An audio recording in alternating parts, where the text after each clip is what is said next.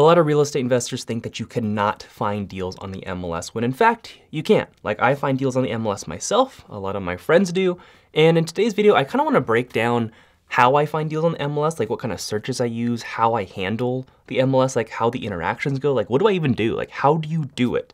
That's what I'm gonna go over in this video, and if you are new to this channel in general, my name is Justin Yurong and I've helped hundreds of people in real estate. So first thing I wanna start with is I guess my auto prospecting searches. For the MLS, um, the first houses that I look at or my team looks at now for the MLS are the homes that have been sent every single day for auto prospecting. So if you don't know what that is, like on the MLS, you can set searches or you can have a realtor set searches for you um, for particular homes that you want to see. Now, there's two main searches that I use on the MLS, and I'm literally gonna give away my secrets, um, but it allows me to see homes that are most likely to be good deals. Um, so the first thing I do is I set keywords on the MLS for the searches. So every single day I wanna find homes that are listed for sale that have specific keywords. Some of these keywords might be cash, might be um, fixer-upper, might be rehab, might be TLC, which means tender loving care, meaning the home needs work, um, might be investor, uh, so like, like those kinds of keywords. I think I, I gave like a, those are decent amount of keywords, but I look for those particular keywords so that if you enter those keywords on the search, that every time a house is listed that has those keywords, it's going to show to you. Now, there's a certain setting on the MLS that you actually have to change um, to make sure all the keywords are shown. I think it's like changing it from and to or, meaning if you type in keywords TLC, fixer upper, cash, investor, if you type in all those keywords, you want to make sure that it says um, or. So if you're saying, I want to find houses that show the words TLC or investor or cash or fixer upper, because if you have it as and, like that would mean one listing would have to have all your keywords in order to be for it to be sent to you, which means you're probably not going to be sent a lot of property. So that's the first search I do. Now the second search I do for auto prospecting, it actually has to do with price per square foot. And it's a little bit tricky. Uh, I, I think most MLSs can handle this kind of keyword, this kind of search. But basically, for every single zip code in the city that I'm targeting, so from my city is Fresno, California, I essentially will take the, like, let's start with one zip code. So I would take one zip code, I would filter the list or sort the list of, um, of homes for sale by price per square foot. And then I'd sort it by lowest price per square foot to highest price per square foot. So if that's for a particular zip code, all the houses for sale in a particular zip code sorted by price per square foot, lowest to highest. From there, I would look at the fifth lowest price per square foot home. I would set whatever the price per square foot of that was, and I would set that as the maximum amount price per square foot for that zip code. And you can literally, so what it's doing, it's helping me set the search for all the homes in this particular zip code that are under this price per square foot. Now what it's telling me, every time a home pops up under that price per square foot in that zip code, I am going to get an email notification for that and typically, if it's a low price per square foot home, it's probably a fixer upper, or it's probably a home that's listed a lot lower than the others because the price per square foot's lower. So what it's allowing me to do is see the potential homes for sale that are good deals or potentially good deals right away before everyone else. And I can do this because of that search. Like, and you just have to do that for every single zip code. And that's actually like been pretty nice. But I will say that for the MLS, MLS is all about volume. Where I mean, everything's about volume. You got to do a lot of offers and offer on a lot of homes. So when I run out of all the homes on the auto prospecting searches that I just described, the keyword and the price per square foot ones, like when I go through the emails every single day and they're all gone, the next thing I do is I just offer on everything from lowest price to highest price. So, I mean, that stuff doesn't really matter if you're doing volume anyways, but if you don't have the time and like maybe you work a full-time job and you only got an hour or two a day to analyze deals and make offers, then like, dude, this is this is amazing. These searches can save you a lot of time and help you look at the right properties fast.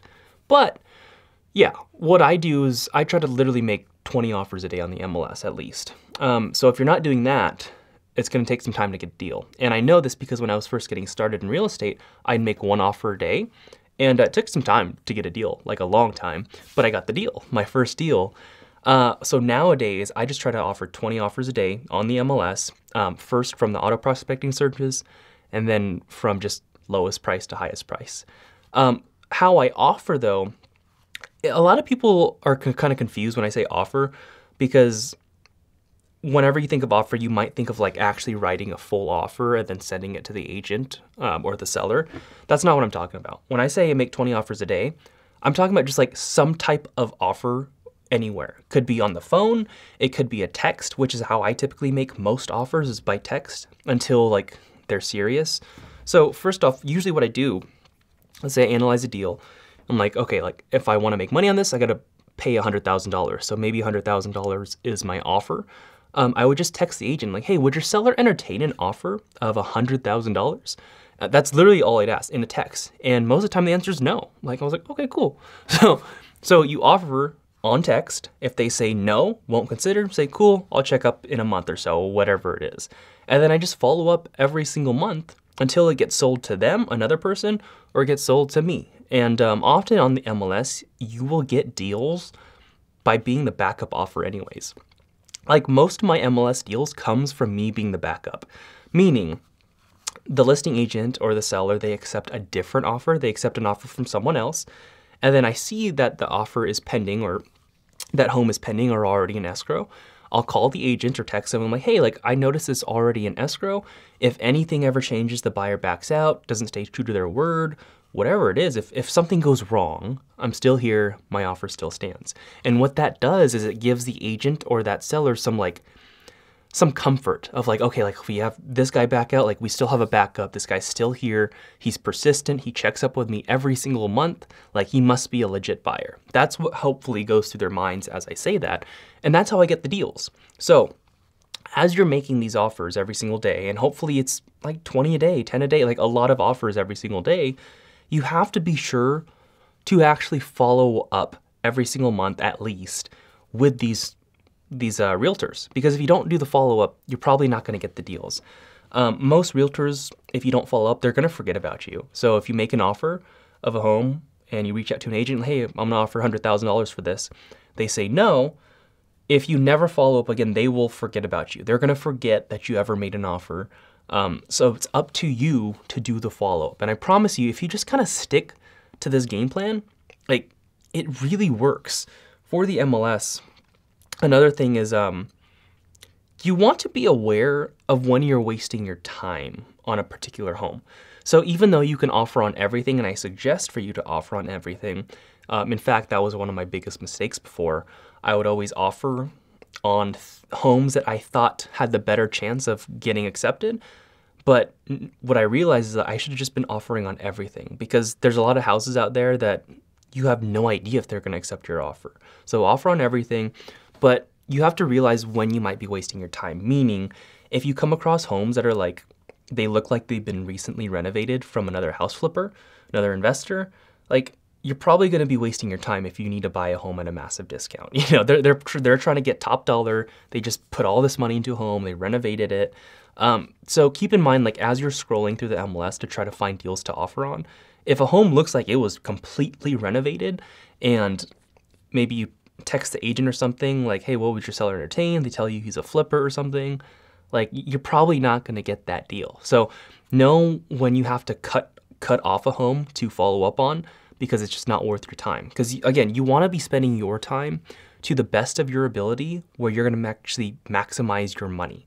Um, and if all your time is being spent on all these recently renovated homes from house flippers, you're not going to get any deals. Like your time should be spent on the homes that probably would be sold to you, you know?